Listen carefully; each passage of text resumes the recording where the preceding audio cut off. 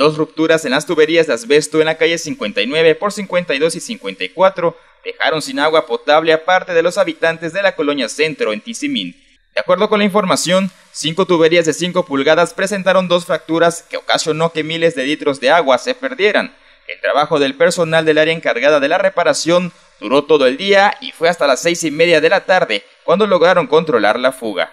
El inundado de la zanja impedía realizar el trabajo con rapidez, asimismo tuvieron que romper varios metros del pavimento para dar con la fuga, debido a que estas tuberías son muy antiguas y se encuentran entre las raíces de los árboles. Este jueves ya se estableció de nueva cuenta el servicio, solo queda pendiente la reparación de la calle que fue rota para buscar la fuga. De este trabajo se encargará el departamento de bacheo del ayuntamiento. Con imágenes e información de Alejandro Och, Notivisión.